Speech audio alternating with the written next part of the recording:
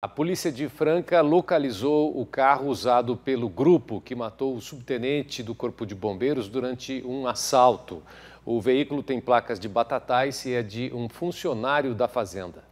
Embaixo desse pontilhão na rodovia Ayanguera, em Cravinhos, os sinais do fogo no asfalto. Aqui, uma picape foi queimada. Segundo a Polícia Civil, o carro estava dois dias antes, na cena do crime onde o bombeiro e policial militar Ricardo Luiz Falqueto, de 44 anos, foi morto. Com placas de batatais, o automóvel foi usado para assaltar uma fazenda em Franca, onde uma quadrilha roubava defensivos agrícolas. Ricardo ia pescar com um amigo quando percebeu algo suspeito. Os trabalhadores da fazenda ficaram trancados durante o assalto.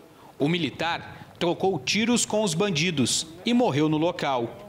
Os criminosos abandonaram dois carros. A picape prata estava com o vidro quebrado e passou por perícia antes de ser liberada. Os assaltantes levaram a arma e os documentos da vítima após o tiroteio.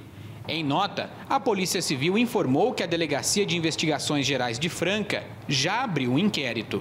O delegado responsável, Márcio Murari, preferiu não gravar entrevista.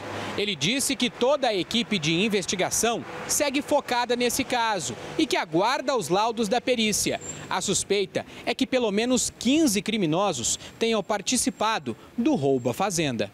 Ricardo entrou na Polícia Militar em 2002. Com quase 20 anos de profissão, ele era subtenente do Corpo de Bombeiros. Morava em Franca, mas trabalhava em Ribeirão Preto.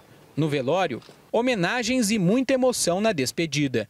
Em continência ao nosso irmão guerreiro, subtenente Falqueto, apresentar arma! Atuava lá em Ribeirão Preto, no nosso Cobom, que é onde a gente recebe as ligações de de 193 e faz o despacho das viaturas. Então era um excelente profissional, um excelente amigo, uma grande perda para a família, para o corpo de bombeiros e para a sociedade.